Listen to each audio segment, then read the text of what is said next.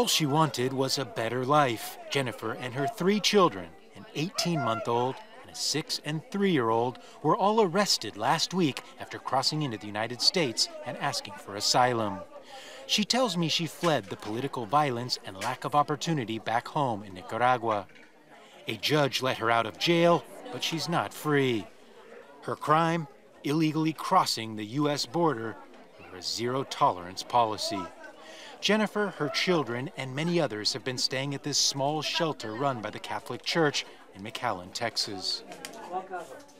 Jennifer did not want to be interviewed on camera and she did not want her last name used. She's scared, but in many ways, she's lucky.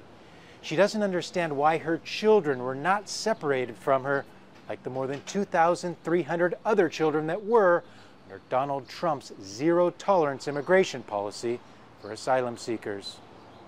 Those children remain in shelter detention centers, and nobody seems to know how or when they will be reunited. Also in McAllen was First Lady Melania Trump, visiting one such shelter which had taken in several children separated from their parents due to her husband's hardline policy. But her show of compassion is being overshadowed by the jacket she wore on the plane on the way to Texas.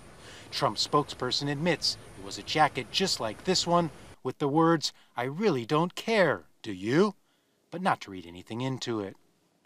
Civil rights activists also visiting McAllen were less concerned about the First Lady's attire more concerned about President Trump's executive order to end separations at the border, which they say is now too little, too late.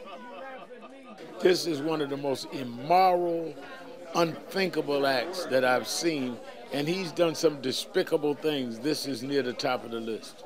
We're here a day after there was an executive order which relieved a very, very little of the current crisis, and it's temporary, it's not a permanent solution.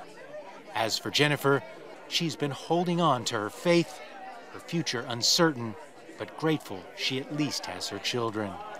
Gabriel Elizondo, Al Jazeera, McAllen, Texas.